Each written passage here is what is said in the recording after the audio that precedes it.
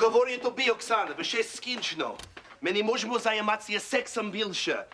Я маю другу дівчину. Did Oleg take Liam Neeson's daughter? I'm breaking up with all my ladies so I can start up again with Sophie. And Oksana's not taking it lying down or bent over like, like she usually is. Well, I'm sorry I never got to meet her. That you and Sophie have decided to be what's the Ukrainian word for monogamy? There isn't one. You're either ugly or you're sleeping with everyone.